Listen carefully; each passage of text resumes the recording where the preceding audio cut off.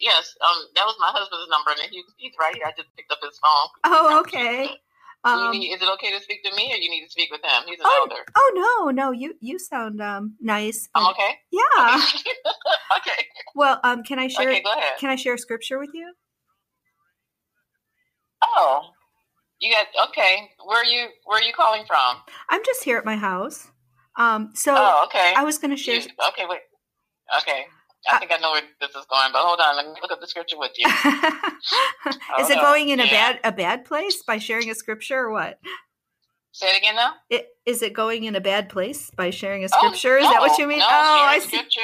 No, sharing scripture is always really good. Oh, but You, good. you got the number from the Kingdom Hall. So hold on one second. Okay. All right. I got my Bible. Go ahead. What are we looking at? Second Corinthians 5, 18 through 20. What's your name? Christine, what's your name? Tessa. Okay. One thing.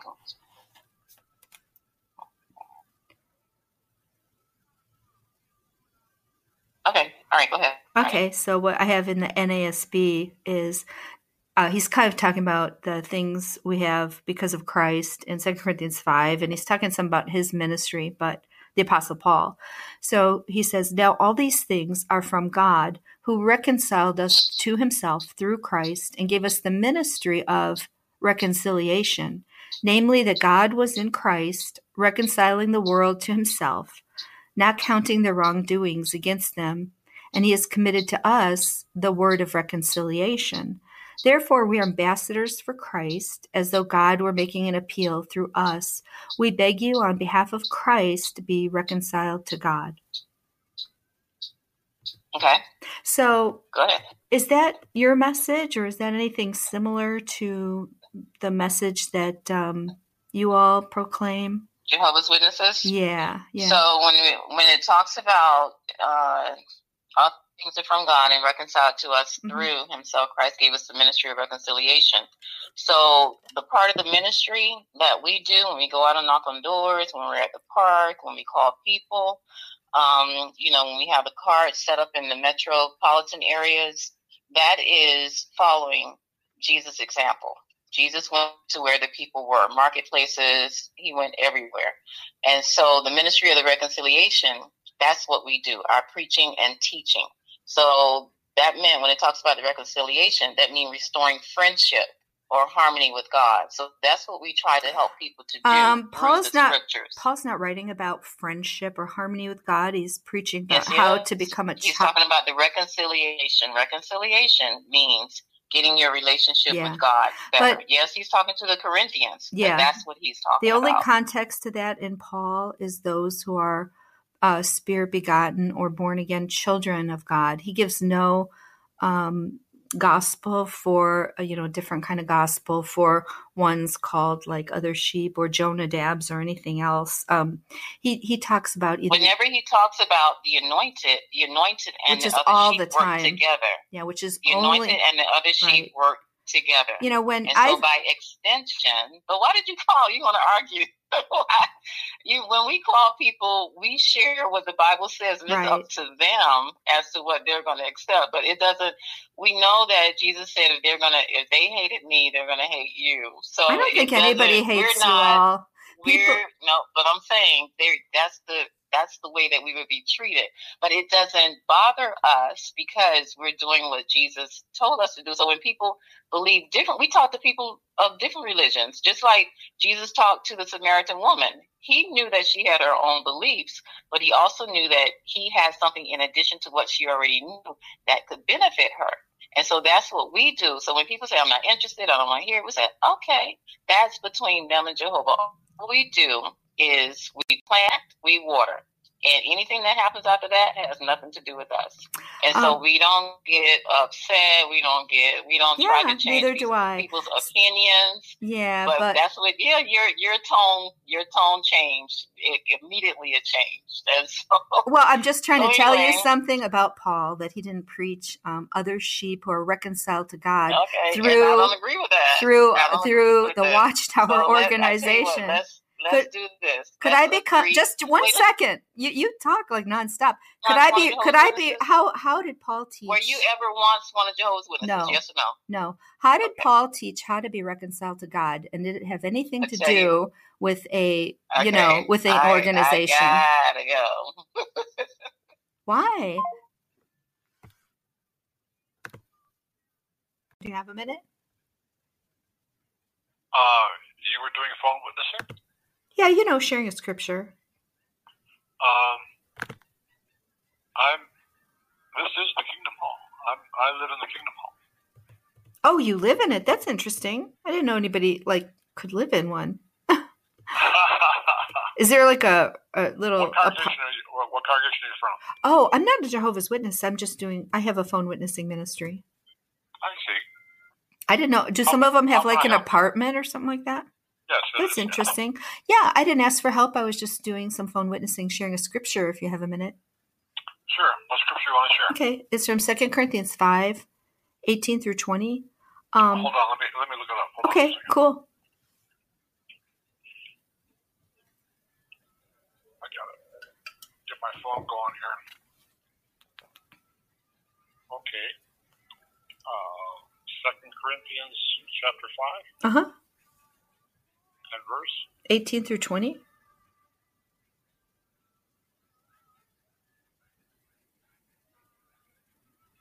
Okay. Um, you want me to read it, or do you want to? Yeah, you read it. Okay. I got the NASB.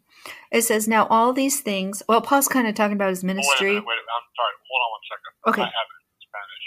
Oh, okay. Uh, I, I'm in a Spanish congregation. Oh, okay.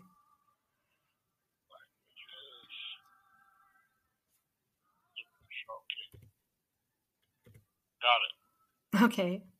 So this is NASB. Paul's talking about his ministry and that he was entrusted with the gospel and what we have in Christ, those those kind of things. And so he says, Now all these things are from God, who reconciled us to himself through Christ and gave us the ministry of reconciliation, namely that God was in Christ, reconciling the world to himself, not counting their wrongdoings against them, and he has committed to us the word of reconciliation. Therefore, we are ambassadors for Christ, as though God were making an appeal through us. We beg you, on behalf of Christ, be reconciled to God.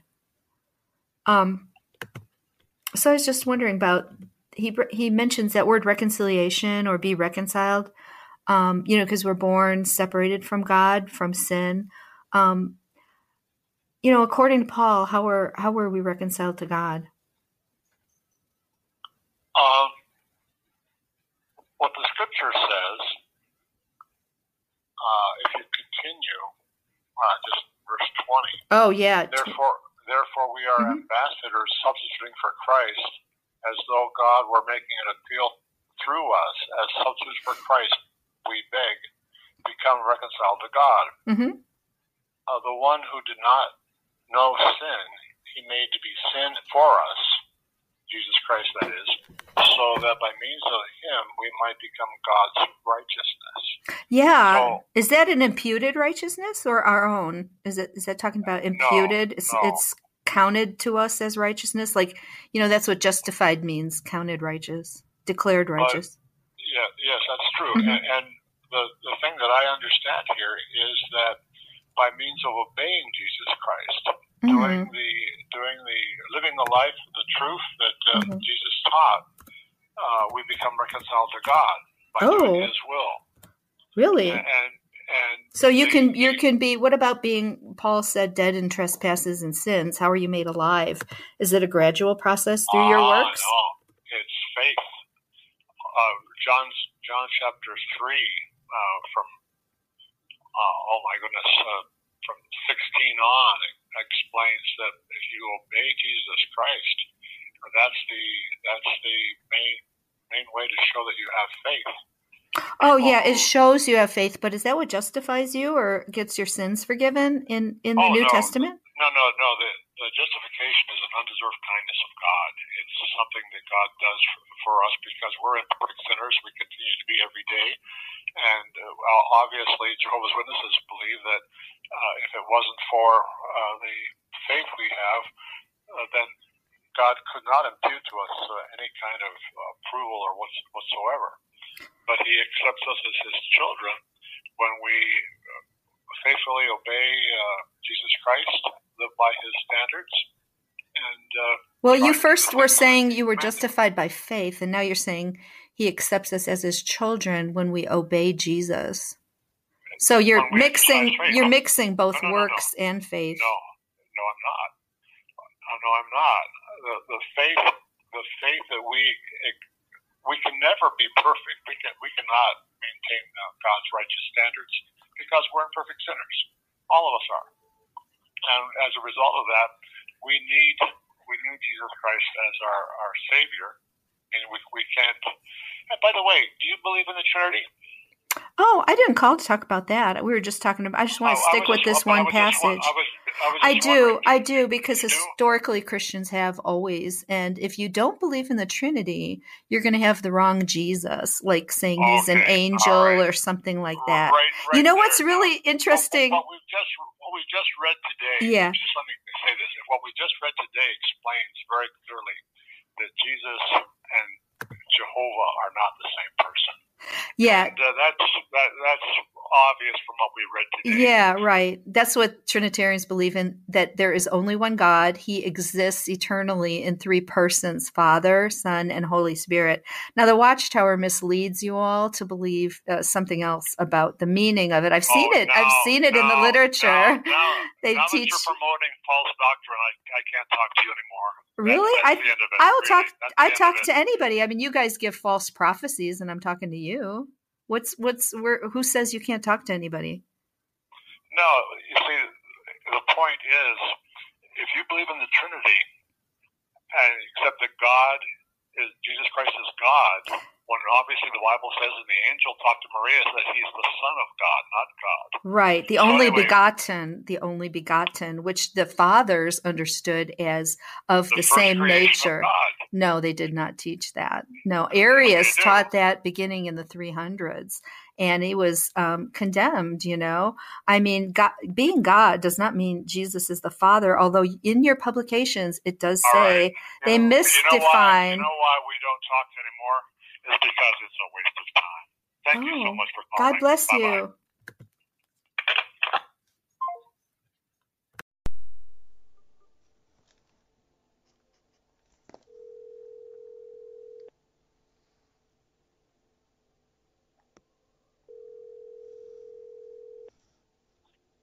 Hello.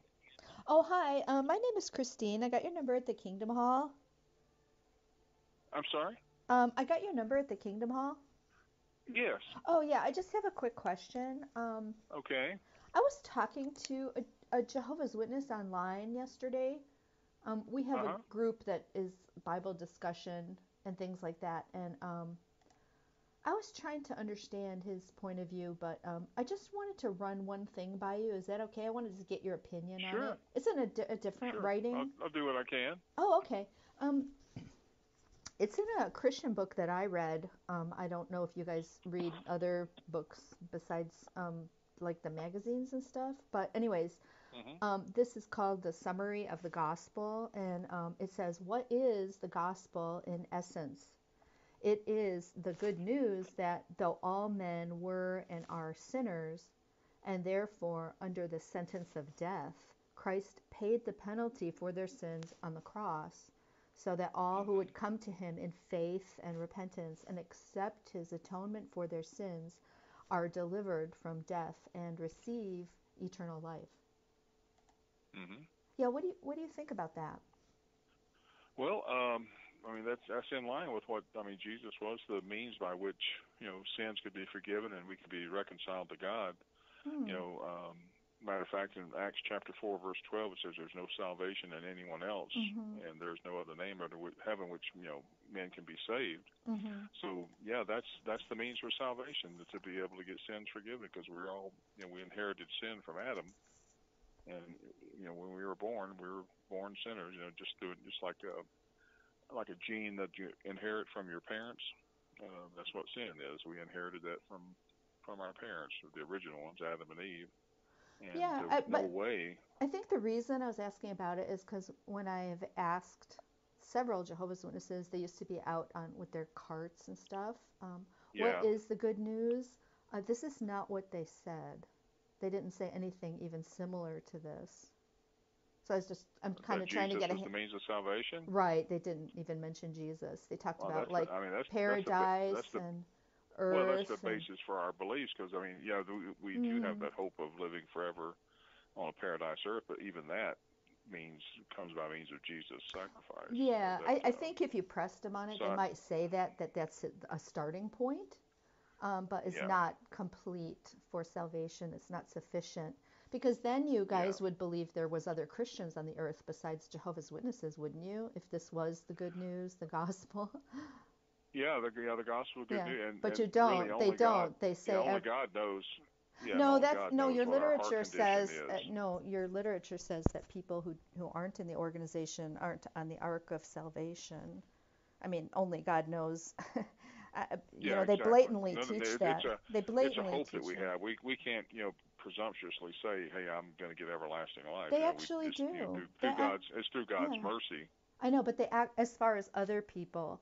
Um, you know, if this is the gospel here, if this is the good news, well, there's obviously Yeah. other Christians, but for I think for you guys, it's just like a start point. and then uh, let, let me just give you an example. I saw this on the website. It says that. Um, well, actually, it gets into also that Jesus only suffered for the sins of Adam. He only replaced Adam, whereas the Bible says that um, he himself bore our sins in his own That's true. body on the tree. So um, that couldn't really But be they originated they originated from Adam. You know, they, they uh, I'm not sure what you what you were reading, but I mean, Oh, well, sin when they have- originated from Adam. No, they say that um, it's a cor. They add a word corresponding ransom, and then here on the website, Right. it's really interesting, and that means corresponding to just Adam, and so that what that gives you guys, I guess, in the teaching is the opportunity for just like a great reset, people being resurrected, and because of that, they get what Russell called a fair chance you know? So he that's why he developed his whole scheme. It's called the divine plan of the ages. He felt it was unfair like people never heard of jesus or you know people don't understand or whatever. But anyways like here on the website it's really interesting. It says jesus sacrifice is a corresponding ransom for all and that's the quote corresponding ransom from all for all from the new world translation. And then it says for all those who take the steps necessary to benefit from it um, so what are what are those steps of how you could benefit from it? It doesn't really say Well, you, here. have, you have to well, you have to like uh, you know John 17:3 says, taking in knowledge of God and Jesus is you know you have to take in knowledge, then you have to follow through on by acting on it, and you know not just you know taking it for granted. You have to really believe it, and you have to change your life and live according to you know what God's uh, law is for us, and you know they believe and believe in the means by which salvation comes, which you know when you say you know you mentioned something about a corresponding you know something that corresponds to something else means Mhm. it's equal to that. So you know Jesus giving His perfect life bought back what Adam lost. You know, so it's, it corresponds with what. See, Yeah, Adam was well- perfect at the beginning. You, you know, don't you agree? They that You know, course was, was, the he word perfect in the beginning. the word corresponding isn't really in other translations. But so are you Okay, saying that where do you where do you get that knowledge that you take a knowledge of the Father and the Son? Is it from um, the organization? Well, it's from the scriptures, from the Bible. Oh, oh, could you find it only in the Bible yourself? Do what? Could you find out the steps necessary by just reading the Bible yourself? Well, sometimes you need some help. Remember when uh, Philip was talking to the Ethiopian eunuch and he asked him if he understood what Yes. he was reading, and Uh-huh. he helped him. He helped him. So Sure. sometimes we need help. I mean, I had to have help. I don't. I don't. Under, and I'm still learning. I'm, you know, still taking it all in. But uh, Yeah, I I think you though what, I, I think though that what they say is you cannot find the truth by just reading the Bible. I mean, I can show you that where they said that. So what Yeah, your your okay. view is sometimes you need help. That that's not what they teach. You know, they teach that you you can read the No. Bible all your life and, and still not know because they you have Yeah. to be in touch with the channel. They call it channel. Yeah, I appreciate that. Listen, Yeah. I, I hate this. I, mean, I enjoy talking to you. I'm in the hospital right now. Oh, I'm sorry. I'm just, I'm just getting Oh. over surgery, and I'm. Oh, uh, if I, no. I hate to break out. Yeah, I'm I'm didn't want to bother you with that. Oh, No, that's fine. You no, sound like you're you doing calling. okay. I appreciate your. are you doing yeah, okay? I'm doing pretty good. Yeah, I had a knee replacement with some infection, so Oh, we're waiting to see if oh. they got it all or not. Oh, so, uh, well, I hope it turns out good. but good. yeah, so I, I appreciate yeah, that. But thanks for yeah. your questions. Thanks for thanks for talking to me. God bless you. All right, bye bye. Okay, see ya.